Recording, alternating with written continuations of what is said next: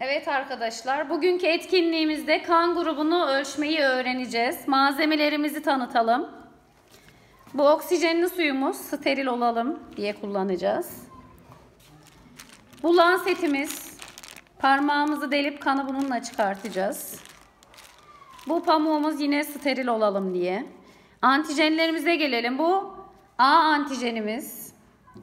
A antijenini kanın üzerine damlattığımızda eğer kanımızda A kan grubu varsa çökelme olacak.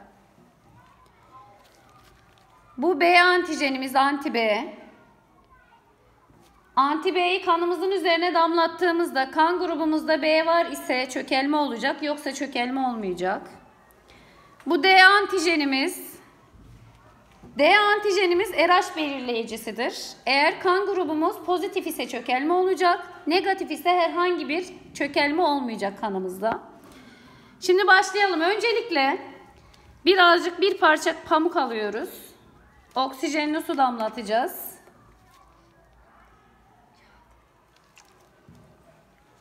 Parmağımızı sterilize ediyoruz. Şimdi lansetle parmağı delip 3 damla kan almaya çalışacağız.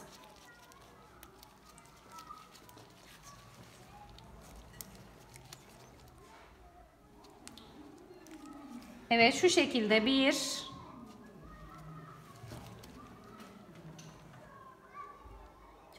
iki ve üç. Şimdi A antijenini damlatıyorum. İzleyelim.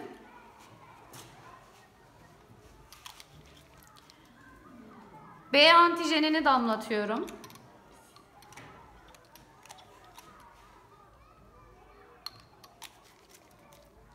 Ve D antijenini damlatıyorum.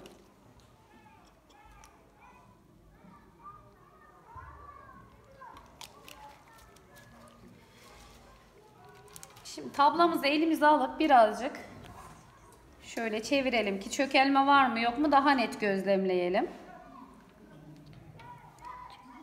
Evet bakıyoruz şimdi. A antijenini damlattığımız kan grubunda çökelme var. Demek ki bu arkadaşımızın kan grubunda A var. B antijenini damlattığımız kanda da çökelme var. Demek ki arkadaşımızın kan grubunda B de var. Ama D antijenini damlattığımız kanda herhangi bir çökelme yok. Demek ki arkadaşımız negatif oluyor. A vardı, B vardı, D yok idi. Yani arkadaşımızın kan grubu A, B, RH negatif oluyor. A, B, RH negatif.